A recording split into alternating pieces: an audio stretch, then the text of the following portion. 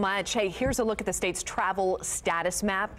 There are a lot of counties under a travel watch there, which is shown in orange. Hamilton, Johnson, and many counties in the south included in that. That means essential travel only, such as to and from work is recommended.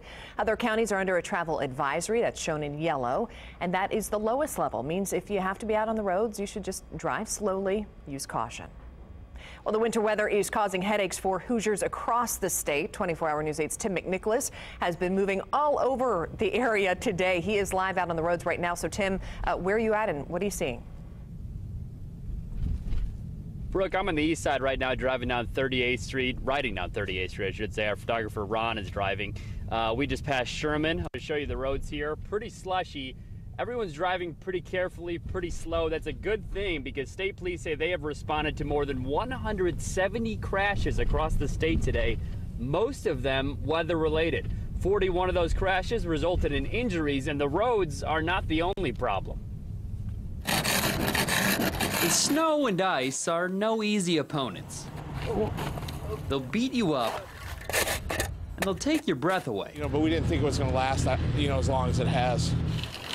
But this maintenance team has a plan. Just keep fighting. The snowblowers really don't cut it. I mean, you know, it's it's kind of like we're just going to have to keep going back over and over until we get it all.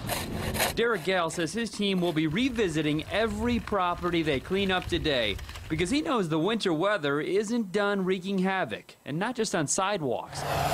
INDOT says their salt will be less effective as the temperatures drop. Their advice drive careful and in rural areas, be wary of blowing and drifting.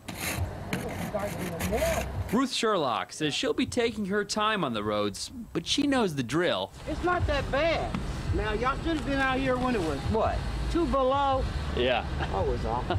State police say they responded to more than 140 slide offs today. They assisted more than 170 drivers, many who got stuck or had their cars break down.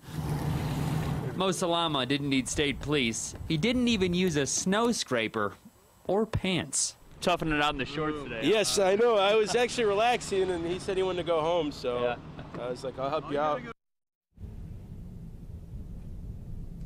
Certainly hope he is bundled up by now. Uh, back out here live on 38th Street. Want to show you the roads just one more time before we toss it back to the studio. You can see it's pretty slushy. Not a whole lot of folks out on the roads, uh, more than we saw earlier in the noon hour when we did a couple live hits then. Uh, people coming home from work, obviously, we're going to see some more traffic. INDOT says they have more than 120 trucks out on the roads today. So, live on the east side, I'm Tim McNicholas, 24 Hour News 8. All right, Tim, stay safe out there. Tim mentioned it. Slick roads uh, around the state. A couple of slide offs today on I 70 in Putnam County near the Cloverdale exit. One involved a jackknifed tractor trailer and a couple of cars. State police in that area report more than 10 slide offs, but thankfully no serious injuries. Another slide off, uh, this one in southern Indiana, I 65 in Jackson County, about five miles north of Seymour. State police down there say most of the slide off they've seen uh, have been north of Seymour.